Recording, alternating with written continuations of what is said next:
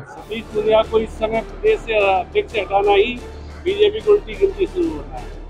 जिसको चार साल तक अध्यक्ष, तीन साल अध्यक्ष बनाए रखा, चुनाव के टाइम उसको हटा दिया। अब ऐसे एक नौ सिक्के को लिया जो राजस्थान की जनता ही नहीं। बीजेपी वालों को पता चल जाएगा, कर्नाटक में हो गया ना। मध्य प्रदेश में इन्होंने खरीद फरोख्त उसके नतीजे भुगतेंगे ना। राजस्थान में जो किया, उसके नतीजे भुगतेंगे। महाराष्ट्र में जो किया, उसके नतीजे भुगतेंगे। कर्नाटक में क्या हुआ? कर्नाटक में कांग्रेस सरकार गिरा की तो हुआ? उससे लगता है प्रधानमंत्री तो निराश है। मतलब इतनी हल्की भाषा हमने किसी मिनिस्टर की भी नहीं सुनी। कभी देश के प्रधानमंत्री बहुत सुने हमने। इस तरह की हल्की भाषा कोई प्रधानमंत्री नहीं बोलता है। उन्होंने अपनी गरिमा को खुद ही गिराया। अभी महँगाई रात कैंप चले। उसके बाद ढाई महीने, तीन महीने तक मीटिंग नहीं हुई। आज सब कार्यकर्ताओं से बैठ के बात करेगी। महँगाई रात कैंप में अगर कोई कमियाँ होगी तो उनको दूर करेंगे। हम चाहते हैं सब लोगों को सरकारी योजनाओं का फ़ायदा मिले। जो विकास के काम जहाँ भी मंजूर किए उनका समय पर पूरा हो। और कार्यकर्ताओं से बूथ लेवल के सम्मेलन, जो आगामी महीने में होने वाला है, प्रदेश स्तरीय, हमारे बूथ के जो अध्यक्ष है, हमारे जो मंडल के अध्यक्ष है, उनको कार्यकारिणी बनाकर उनको सक्रिय करेंगे। ढाई महीने हम महँगाई रात में लगे हुए तो मीटिंग नहीं बुला सके। और मीटिंग बुला के सबसे बात करें। सर आज सवाई माधोपुर में विजय संकल्प बैठक है। कल मोदी जी आए। लगातार बीजेपी के बड़े नेताओं ने डेरा डाल दिया। मोदी जी को तो आना ही नहीं चाहिए राजस्थान में। इस तरह की भाषा का इस्तेमाल एक प्रधानमंत्री जी ठीक नहीं है। उन्होंने अपनी खुद की गरिमा गिराई है। क्या जो कहते हैं प्रधानमंत्री का इस तरह कभी देश का? ऐसे प्रधानमंत्री बोलता है कभी। जितना मोदी आएगा उतना ही कांग्रेस को बढ़त मिलेगी। जितने मोदी वहाँ पर गए कर्नाटक में उतनी कांग्रेस की सीटें बढ़ी।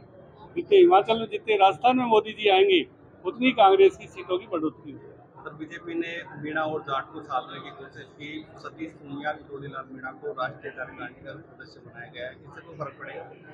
वो किसी को बनाए सतीश पुनिया को इस समय प्रदेश से अध्यक्ष से हटाना ही बीजेपी को उल्टी गिनती शुरू होता है।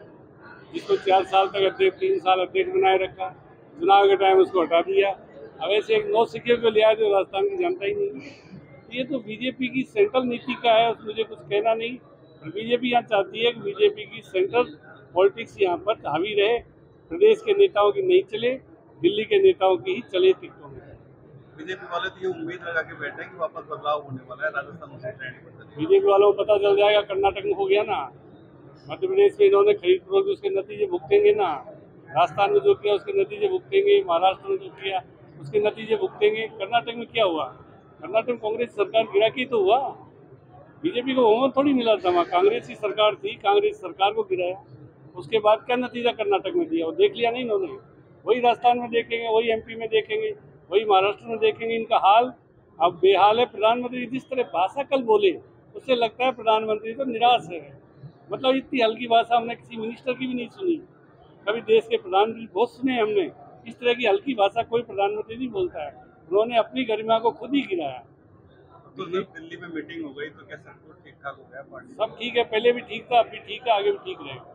कांग्रेस अब की बात हमेशा ये था आपकी बात कि देश शायद डिक्लेयर कर दिए लेकिन मीटिंग में ये हुआ कि ये सामूहिक सामूहिक में चुनाव लड़ेंगे। क्या लगता है कि डिक्लेयर करना चाहिए नहीं करना चाहिए? देखो आज भी हमारी नेता सोनिया जी है। सोनिया जी जब तक है उनके सब निर्देशों की पालना करेंगे। कोई भी हो सोनिया जी के आदेशों की निश्चित रूप से पालना होगी कांग्रेस ठीक रहेगी। एक होकर रहेगी और कांग्रेस कहीं भी कांग्रेस से पिछड़ा नहीं